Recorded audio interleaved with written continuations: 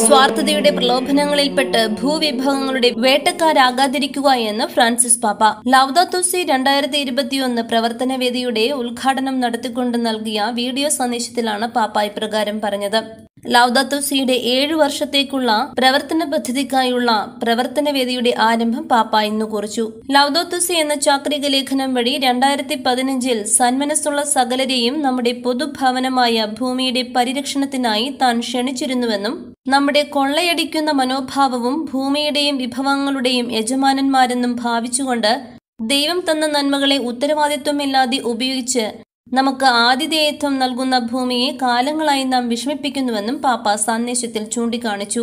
പാരിസ്ഥിതിക പ്രശ്നങ്ങൾ മാത്രമല്ല ദരിദ്രരുടെ നിലവിളി കേൾക്കുന്ന പുതിയൊരു സമൂഹത്തിന് പുളിമാവാകുന്ന ഒരു സമഗ്ര മാനുഷിക പരിസ്ഥിതി ശാസ്ത്രത്തിന്റെ ആവശ്യകതയെയും പാപ്പ എടുത്തു പറഞ്ഞു. സ്വാർത്ഥതയുടെ പ്രലോഭനങ്ങളിൽപ്പെട്ട് ഭൂവിഭവങ്ങളുടെ വേട്ടക്കാരാകാതെ ഒരു നല്ല ഭാവി സകലർക്കുമായി ഒരുക്കാനുള്ള ഉത്തരവാദിത്വത്തെയും അവസരത്തെയും കുറിച്ച് ഓർമ്മിപ്പിക്കുകയും ചെയ്തു.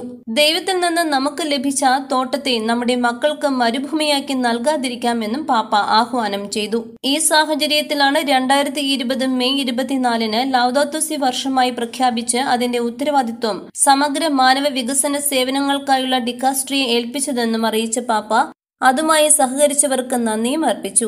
കുടുംബങ്ങളെയും ഇടവക രൂപതകളെയും സ്കൂൾ കലാലയങ്ങളെയും ആതുരാലയങ്ങൾ കാർഷിക വ്യവസായ സ്ഥാപനങ്ങളെയും സംഘടനകളെയും മുന്നേറ്റങ്ങളെയും സന്യാസ ഭവനങ്ങളെയും സുസ്ഥിരമായ സമഗ്ര പരിസ്ഥിതിക്കായി ഒരുമിച്ച് പ്രവർത്തിക്കാൻ പാപ്പ ക്ഷണിച്ചു. ഇത്തരത്തിൽ മാത്രമേ നമ്മൾ ആഗ്രഹിക്കുന്ന സകലരെയും ഉൾക്കൊള്ളുന്ന സാഹോദര്യ ശാന്ത സുസ്ഥിരമായ ഒരു ലോക സൃഷ്ടി സാധ്യമാകൂ എന്നും പരിശുദ്ധ പിതാവ് തുറന്നു പറഞ്ഞു. ലൗദോത്തുസി കാണിച്ചു തരുന്ന ഏഴ് ലക്ഷ്യങ്ങളായ ഭൂമിയുടെയും ദരിദ്രരുടെ രോദനത്തിന് ഉത്തരം നൽകാനും പാരിസ്ഥിതിക സമ്പദ് വ്യവസ്ഥ ലളിത ജീവിതശൈലി പാരിസ്ഥിതിക വിദ്യാഭ്യാസം പാരിസ്ഥിതിക ആത്മീയത സമൂഹ പ്രതിബദ്ധത എന്നിവ നേടിയെടുക്കാനാണ് ഏഴു വർഷം നീളുന്ന ഒരു യാത്ര. തനിക്ക് പ്രത്യാശയുണ്ടെന്നും ഓരോരുത്തർക്കും സഹകരിക്കാമെന്നും പറഞ്ഞ പാപ്പ നമ്മുടെ ഭൂമി അതിന്റെ ആദിമ സൗന്ദര്യത്തിലേക്ക് തിരിച്ചു വരാനും സൃഷ്ടി ദൈവപദ്ധതിയുടെ തിളക്കം തിരിച്ചെടുക്കാനും അവനവന്റെ സംസ്കാരവും വിദ്യാഭ്യാസവും കഴിവും ഉപയോഗിക്കണമെന്നും പാപ്പ ആഹ്വാനം ചെയ്തു.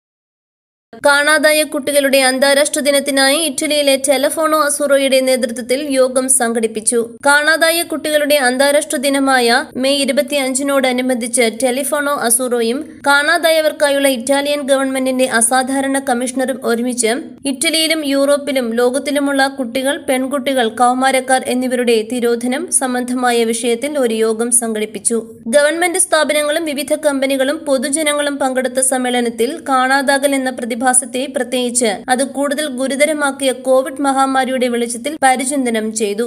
കുട്ടികളുടെ അവകാശങ്ങൾ സംരക്ഷിക്കുക എന്ന ലക്ഷ്യത്തോടെ ആയിരത്തി തൊള്ളായിരത്തി എൺപത്തിയേഴിൽ മൊഡേന റെജോ എമിലിയ യൂണിവേഴ്സിറ്റിയിലെ ചൈൽഡ് ന്യൂറോ സൈക്കാട്രി പ്രൊഫസറായ ഏണസ്റ്റോ കഫോ ബൊളോഞ്ഞയിൽ സ്ഥാപിച്ച സംഘടനയാണ് ടെലിഫോണോ അസൂറോ. ഐക്യരാഷ്ട്ര സഭാ സമ്മേളനത്തിന്റെ അംഗീകാരം ലഭിച്ച ഈ സ്ഥാപനത്തിന്റെ ആസ്ഥാനം മിലാനിലാണ്.